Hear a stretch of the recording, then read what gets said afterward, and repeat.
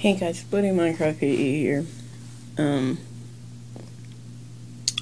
I am. This is my Samsung Galaxy S3. And.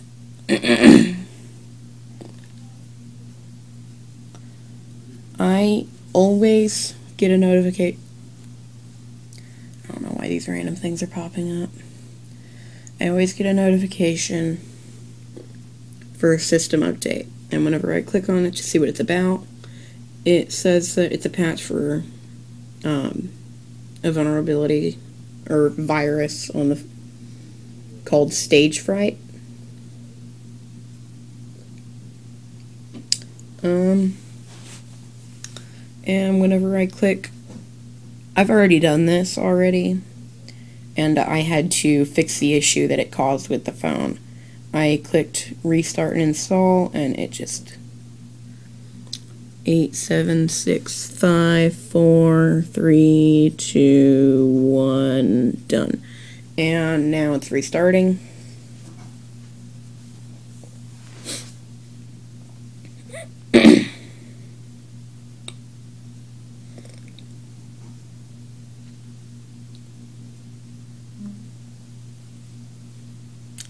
Vibrating Samsung. It says Samsung, and then it loads in a bootloader. See, it's the Galaxy S3. And then it loads in a bootloader and starts to install the update, and then stops right there. And then tries again, and it stops. And then it just, I don't know what it says, but I don't know what all this is about. But anyway, then I click reboot system now.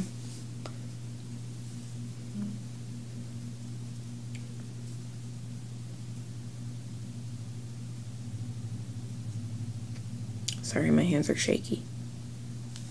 I'm annoyed that this keeps happening to my phone. See, it, go, it goes through all this perfectly fine, but then it freezes. Wait for it. Just. There's whatever that issue is, and then it stops right here. It gets stuck in the boot in a boot loop right here.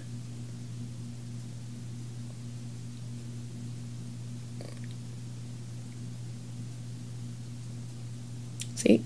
Just sitting there. Doing nothing.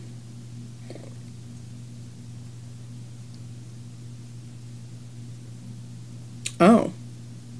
Well, that's a surprise. Sort of. Let's see if I get the notification for the update again, though.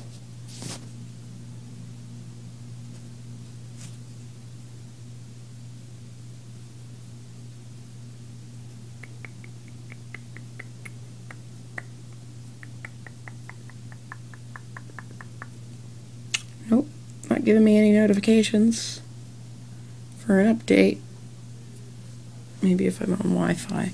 It's giving me a notification to set up a Samsung account. Which I thought I already did on this phone, but apparently not. An update is required. Go ahead.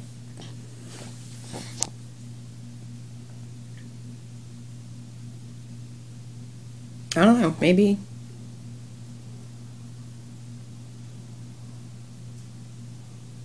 Maybe the reason it did that is because the virus was on the phone whenever I tried to download the update. And then whenever I factory reset the phone, I guess that killed it.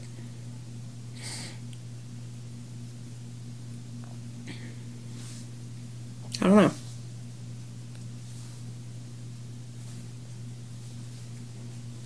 Um well, I guess that's it. And I'll be doing a video tutorial on how to fix your Galaxy if it gets in a, in a boot loop. This works with all versions or all gal all phone all Samsung phones, but um, mine is the uh, Galaxy S3 SPH L710. SPH-L710. So I'm going to be doing it updated a little differently. But if you need help, um, doing the thing, then let me know. And I'll do a video tutorial on how to do your specific phone. You need to put in the version though of the phone.